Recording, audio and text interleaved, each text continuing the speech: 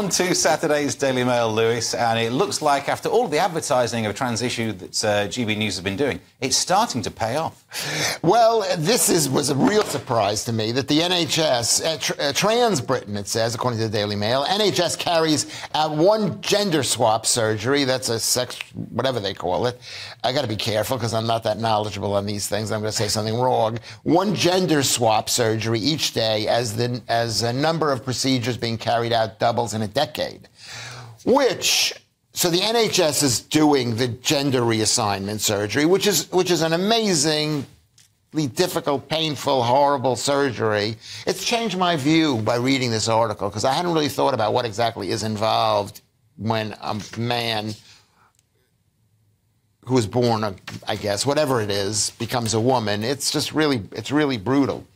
And um, which is I'm sure they use anaesthetic. Though. they do, but it's like you've got to have your you got to have your urinary tract re- reattached, and you've got to have a shape made for. A, it's really gruesome. I love they keep showing. Shall I say what the story is actually about, just Yeah, for fun? So, the, look, so they're performing these surgeries n- nearly, you know, one a day, as it says, and it, it, it's shocking. 90, and 97% of them are men transitioning to becoming women. So that's the very Yeah. questionable stat. Now, why is that? Is it because it's some sort of fetish? Is it because they want to get into safe spaces? Who knows? I mean, is it the higher status women have in our culture? Just That's quite. no- a- a- Well, I'm just, I'm asking. I don't know If why. You know, I want to get in a safe space. I know what I'll do. I will have Yeah. bottom surgery where they have to reattach my urethral cord. Well, yeah, if you really Uh, want to well, get in that you know space. I mean, why is it though, Steve? It is very strange, isn't it? And only three can I percent answer that answer question? it then. Yeah. I'll answer the question. I'm amazed if you can. Because you know you answered it yourself. You made it and phrased it as a question because it sounded so nice. But the truth is, it's better to be a woman than a man, and we know that. I know. I know. Lewis Schaffer's life seems un- amazing. Your life is amazing with your podcasts and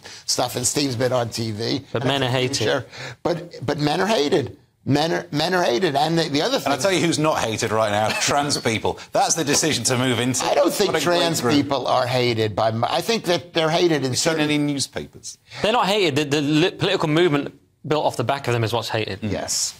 And I Yeah, think so it, it, it seems like you wouldn't make that decision. Like, oh, men are getting a lot of flack. Yeah. I know what I'll do. I'll have bottom surgery with my urethral thing But, being but then reattached. why has the number gone up so massively? I mean, that's because Yeah. it's a social trend, right? That's why it's gone up so, uh, on, it on the whole. It hasn't gone up that massively. It's only 355, which You would- it's much higher than it was. it was, but that's only 355. That's one a day. That's not a tremendous number. But the, It was 170 something uh, a number of years ago. yes, okay. So, but it's still only 355. You're not thinking there's 10,000 a year or 20,000 a year.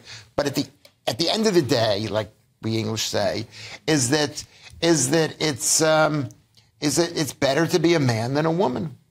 You mean the other way around, don't you? It's better to be a woman I don't than a think it clears it up Thank you either way. listening to me. It's all right. Sorry.